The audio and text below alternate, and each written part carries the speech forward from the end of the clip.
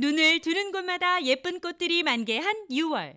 보기만 해도 기분 좋은 이 꽃을 액세서리에 장식해보면 어떨까요?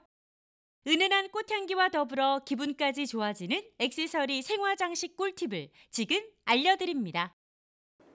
오늘은 초보자분들도 쉽게 따라하실 수 있는 생화장식 밀짚 모자를 해보도록 하겠습니다. 밀짚 모자는 여름철에 자외선을 차단하기 위해 하나쯤은 가지고 계신 아이템일 텐데요. 이런 밀짚 모자를 예쁘게 생화로 장식해서 착용하신다면 좀 더 여성스럽고 사랑스러운 이미지로 활용하실 수가 있습니다.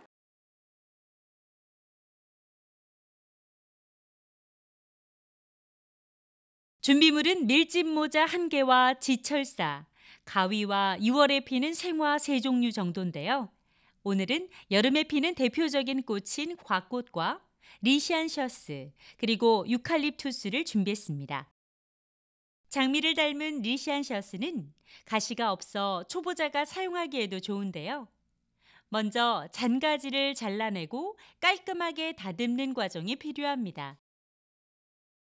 다듬은 리시안셔스와 곽꽃, 유칼립투스를 지철사로 묶어 두 묶음으로 만들면 되는데요.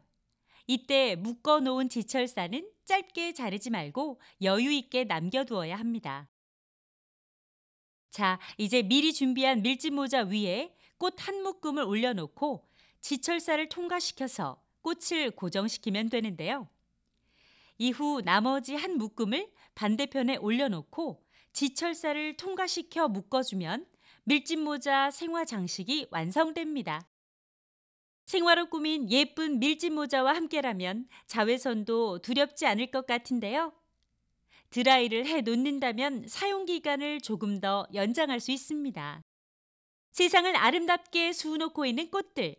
다양한 장신구에 장식한다면 마음까지 화사해지지 않을까요?